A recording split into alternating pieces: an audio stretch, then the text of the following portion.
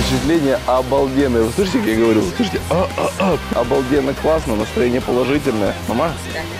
Ну все. The lions